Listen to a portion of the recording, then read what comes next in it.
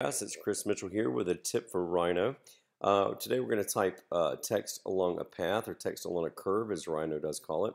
Illustrator calls it text along a path. Um, first of all, we're going to do the, uh, you've got two paths here. You've got two curves. One is a line and one is a circle. We'll talk about that in just a second.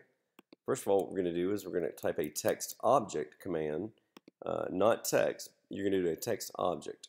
Um, I'm just going to go ahead and show you this in Arial so you can read it nice and clean. I've got some pre-typed text there. Uh, I'm going to put this up here, and I didn't group it intentionally to show you that you do have to group this. So I'm going to go ahead and do Command Group on that. Uh, you can go up to your uh, object and group it in uh, Rhino. I'm on a Mac, of course. Uh, now what I'm going to do is I'm going to put the length of this text to the length of that curve. That's 2.512. I'm just going to get it pretty close to 2.5. I don't have to worry about the whole thing. And then what we're going to do is I'm going to bring this down here to the text, and it's kind of centered on that line there pretty well.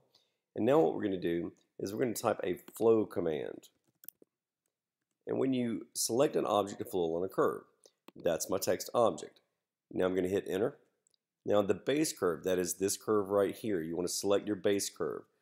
So you want to select an object that follows the path of your normal text.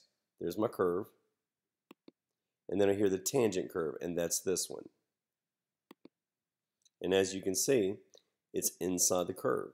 Now, if you just took this object and you rotated it, let's say I want to rotate it 20 degrees, it will be off center, so that's not going to work. If you need that text to rotate, select your outer curve as well, and now when you rotate it, it's going to continue to follow that path. Hope this has helped you out, and you guys have a great day.